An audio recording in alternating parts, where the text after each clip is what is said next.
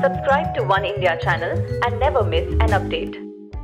Nilanshi Patel from Modasa in Gujarat, who won the Guinness World Record title for the longest hair on a teenager three years ago, has finally cut her hair for the first time in 12 years.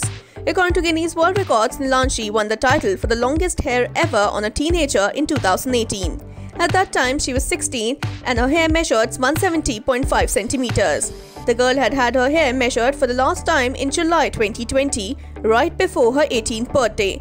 It had reached a length of 200 centimeters, but now the girl, also nicknamed as Gujarat's Rapunzel, has cut her long locks. Around a minute long video was shared by Guinness World Records on Instagram that documented Nilanshi's haircut. The final seconds of the video showed the 18 year old teenager kissing her long locks before bidding them goodbye and embracing her new haircut.